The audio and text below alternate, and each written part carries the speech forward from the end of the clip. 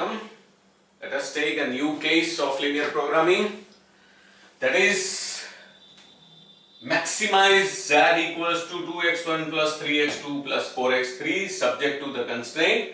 3x1 plus x2 plus 4x3 less than or equal to 600 2x1 plus 4x2 plus 2x3 greater than or equal to 480 2x1 plus 3x2 3x2 plus 3x3 is equal to 400 sorry 540 x1 x2 and x3 all are greater than or equal to 0 or non-negative. Number one the objective is maximization but we have all the three possible signs in all the three constraints. The first is with less than or equal to that is directly matching with maximization objective but second is greater than or equal to and the last is equals to so we have to use Big M method. That is point number one. Number two, with greater than or equal to sign, we have no single variable, but all the three are there in the constraint. So we cannot simplify this problem as we had simplified one or two problems earlier. We have to keep this problem as it is and we have to use Big M method. For the purpose of simplification, the first constraint is less than or equal to, so we will have to add slack variable. The second is with greater than or equal to, so two additional or virtual variables will be there.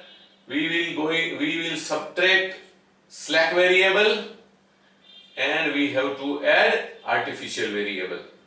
And in this case, the sign of equal to or is equal to so we have to add only artificial variable. Mind well, the first S stands for slack because less than or equal to sign. The second S stands for surplus. That's why we have to subtract it because of greater than sign. Artificial variable, S stands for artificial variable.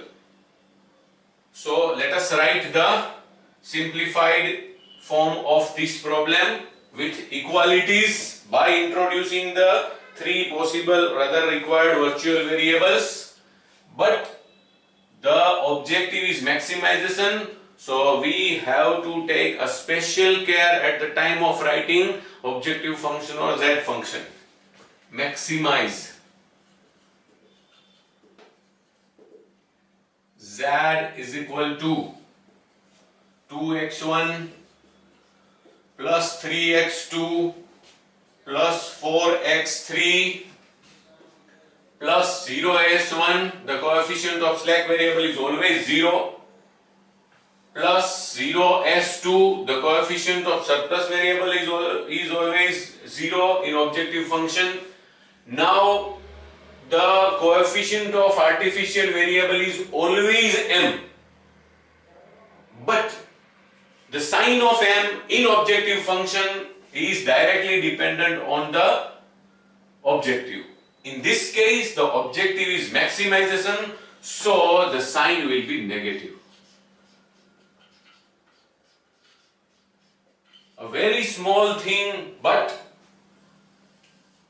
very important.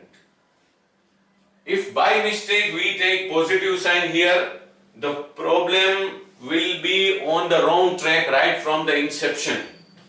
Since the objective is maximization, we have to take minus sign with m in the objective function when we are using Big M method. Please remember this. Subject to the constraints.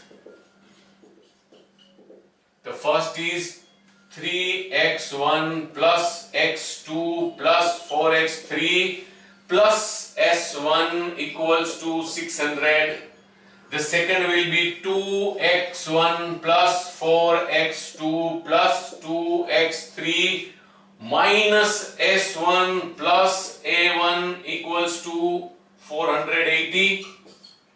The third will be 2x1 plus 3x2 plus 3x2 plus a2 equals to 540. And we have now 3 plus 1, 4, 5, 6 and 7 variables x1, x2, x3 S1, S2, A1 and A2. All these are non-negative. This is the simplified version with equalities. So now we can solve this problem through simplex table or number of required simplex tables. From in the next lecture we are going to prepare the simplex table number 1 and going to get the initial solution of this problem. Thank you.